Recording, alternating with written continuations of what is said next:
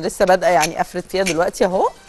بصوا بفردها. كل طبعا بصوا الطبقات اللي أنا بفردها دي هي من كلها من جوه طبقات. يعني الطبقات بتاعت الزبدة من جوه كلها مخلياها طبقات. لازم ترشوا دقيق من تحت عشان ما تلزقش معاكم وتعرفوا تلفوها. هرش برده شوية دقيق كده من فوق. عشان الزبدة ما تطلعش معايا. أهو. بصوا شوية دقيق ونفضوهم كده. اهو. تمام كده. بصوا عايزة بقى أفرد العجينة بالشكل ده كده. اهو. اهو. بصوا اهو. تفردوا تفردوا وكلها طبعا طبقات. تمام؟ كل العجينة اللي أنا بفردها دي من جوه عبارة عن طبقات. حتى لو حتة في الآخر مش متساويه هنسويها. احاول بقى اديها فرده كده من هنا. اهو. كده بالشكل ده. تحاولوا وانتوا بتفردوا تخلوها على شكل مستطيل كده بالشكل ده. بصوا كل اللي أنا بفرده ده من جوه لو قطعت حتة هتلاقوها كلها عباره عن طبقات. الزبده ورقتها أسماء صباح الفل. أيوه صباح النور. إزيك يا حبيبتي؟ عاملة إيه؟ الحمد لله إزي حضرتك؟ الحمد لله تمام. كله زي الفل. بقول لحضرتك إيه عايزة. أسألك معلش على طريقة القرص السادة تمام. والجزر المخلل. حاضر. الجزر الإيه؟ معلش. الجزر المخلل. مخلل؟ حاضر. حاضر يا حبيبتي. تسلمي. حاضر يا حبيبتي تسلمي. بصوا أنا هقطع لكم الحتة مثلا مش متساوية دي عشان أوريكم من جوه العجينة. بصوا. كلها طبقات. يعني هي طبعا رفيعة مش هتبان بس هي كل الطبقات بتاعت الزبدة دي اتفردت في النص. مورقة جدا. تمام؟ أهي. خلاص؟ طيب. تعالوا بقى إيه؟ نعمل إيه دلوقتي؟ هنعمل رول. هنفرق هنبدأ كده إيه؟ نلف الرول بالشكل ده. أهو. واكبس كده.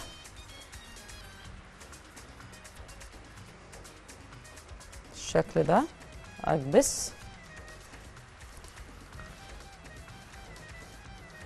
تمام.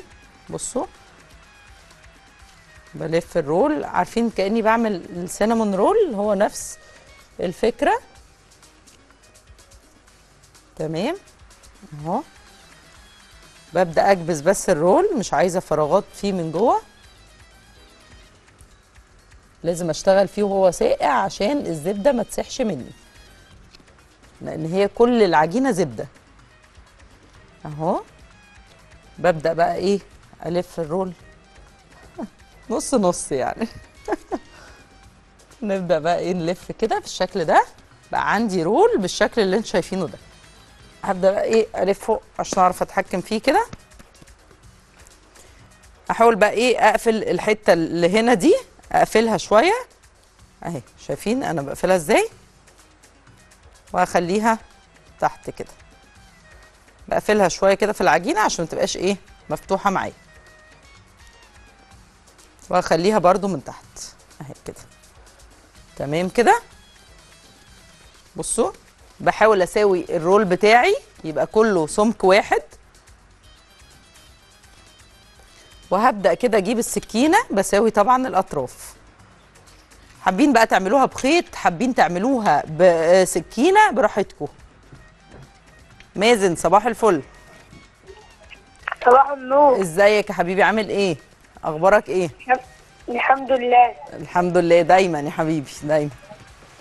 عايز أعرف طريقة الكريب. حاضر. عينينا. حاضر يا مازن.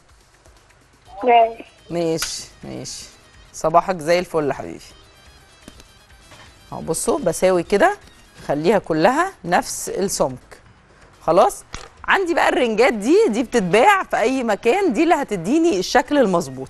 لو مش موجود عندي البديل بتاعها بصراحة مش هيديني نفس الشكل. يعني أنا خبزة في البديل بتاعها هوريكم شكله بس مش هيديني نفس الشكل بتاع ال ring المظبوط. تمام؟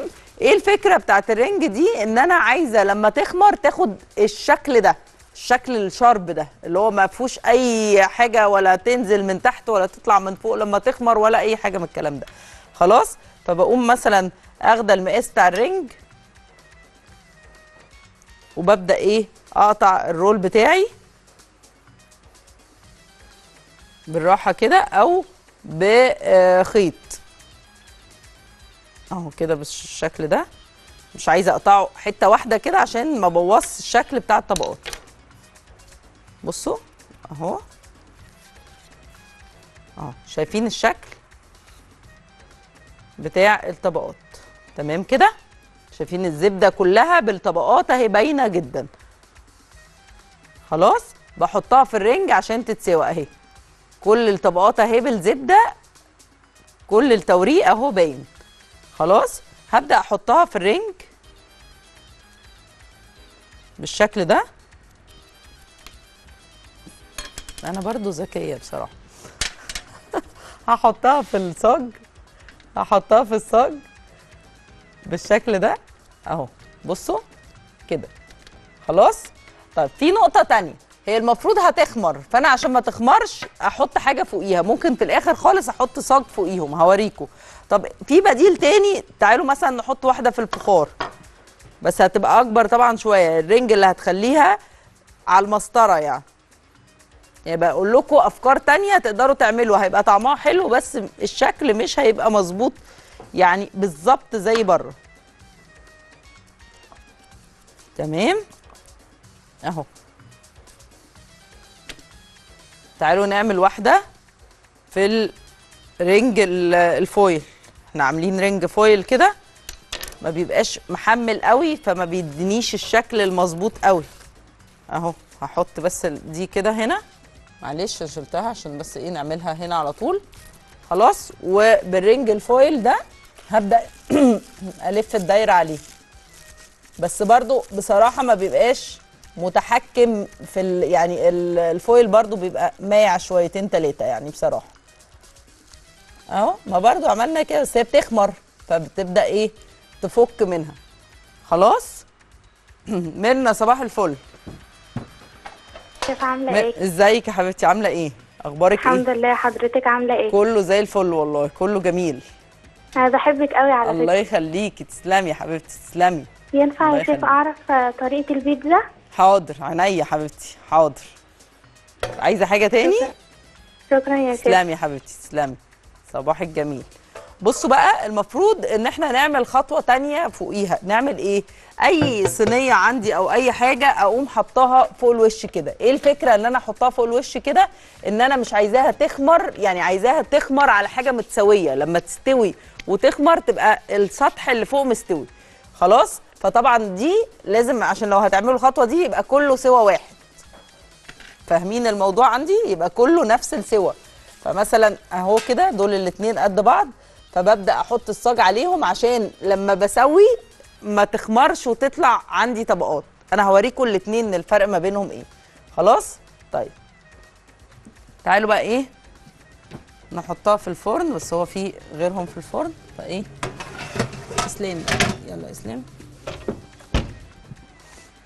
تعالوا اوريكم الباقي. هات لي كده اسلام ال هات لي دول. تعالوا اوريكم الباقي كده.